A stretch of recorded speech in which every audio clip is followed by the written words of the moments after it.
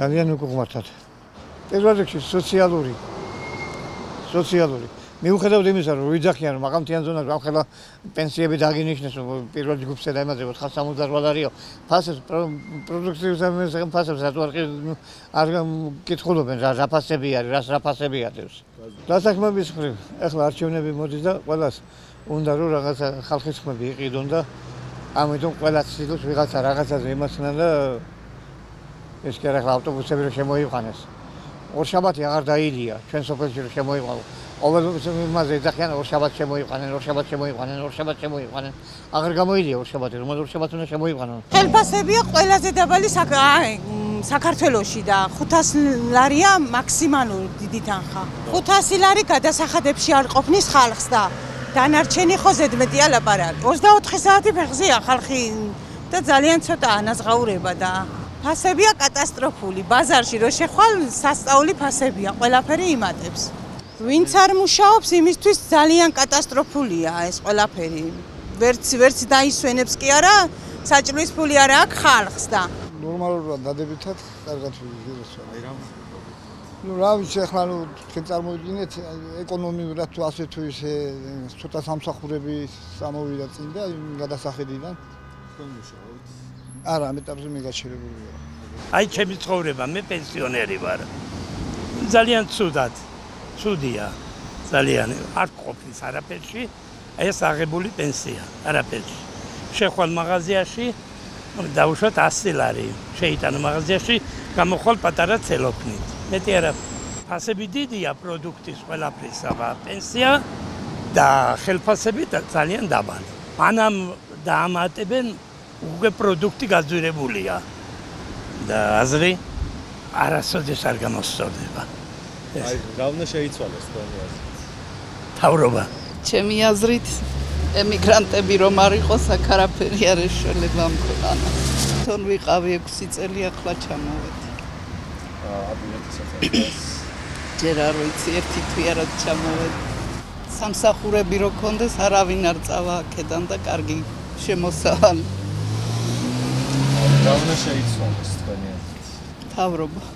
საზღვარგარეთ უფრო იეფია ყველაფერი საქართველოსი ყველაფერი ზედმიწევნით მაღალი ფასები ემიგრანტების ოცნება ყველას ძალიან გვიყვარს საქართველო და მეტირებოდა. მეთქი რო ჩავალ მუხლის შოქა დავეცემი და დავკოცნი ჩვენ მიწას მეთქი მაგრამ როცა შემოდიხარ უკვე სხვანაირად არის ყველაფერი მაგი პოლიტიკოსებს შეეკითხეთ ვითარდება? იცლება ქვეყანა კარგი ის რომ იყოს მდგომარეობა რესპუბლიკაში საქართველოში მარწალია ანუ ხელფასები ანათლები ფასები ყველაფერზე დიდია.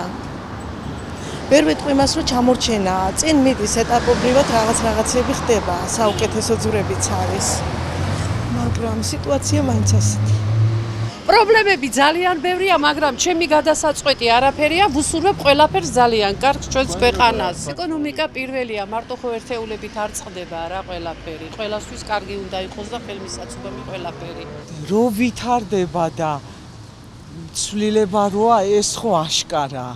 რამდენად ეფექტურად ეს უკვე სხვა საკითხია. ნუ დავიწყოთ თუნდაც პირველ რიგში გარემო, ვიზუალი.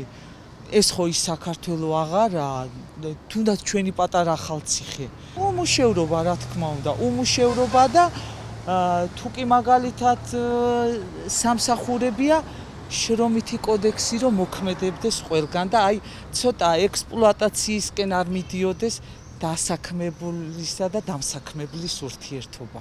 დღეს რო სუპერმარკეტში მივალ ხვალ იმავე თანხით ვერ გამოვიდა, იმიტომ რომ არ ვიცი, ისევ იგივე ფასი დამხვდება თუ არა. კატასტროფული ფასებია. ჩვენ ხო დელიკატესებზე არ გვაქვს საუბარი. მე 42 წელი ვცხოვრობ მოსკოვში. აი პრობლემა გადაწყდება ოქტომბერში. რუსეთში. იქ აირეხა ყველაფერი. რო გადიხარ ერთი 40 კილომეტრში, დამოგრეული სახლები, გაზი მადარ არის. აქ მე რუსულ ხარ მოთხრი. სულ ყველა ოჯახში გაზია. ნუ თქვენ გაზს ევროპაში კიდე. შენ არ გაზი, ტუალეტი გარეთ. ვიღავ ევროპაში ნაკურფ ვიზი. ხალხი ცხოვრობს, რა ვიცი, მოდი ჩვენ დავემგვანო. გონე სწორად მიდიან. კიდე ბევრი რამე ვაყლია, მაგრამ ხო ცხოვრება ერთ ბაშად ერთი მით არა შენებულა. ალბათ ეკონომიკის არ მუშაობს ეკონომიკა. პენსია ყოველთვის არ მიყოფა. და ვიყოფინოთ. არის გაჭირებაც არის ზოგს უხი, ზოგს უჭი, ზოგი კარგად ასია. არა ეს სამსახური. რა ვქნა, ეხა მე ვლაპარაკო, მე ისგონა ნაციონალისტი, მე 20 მე არ აღმიშო, მე ქართველი კაცი ვარ. ეს სამსახური უჭის ხარსა სამსახური. მე სოფლის სკოლა. მარტო მუშაობ სკოლა. სადღაც არის 150 მოკაული ოჯახია. მარტო სკოლა მუშაობ. და 3-4 სოციალ დაუცე. ეგ არის. ამ ძალიან შემახალხო მაგრამ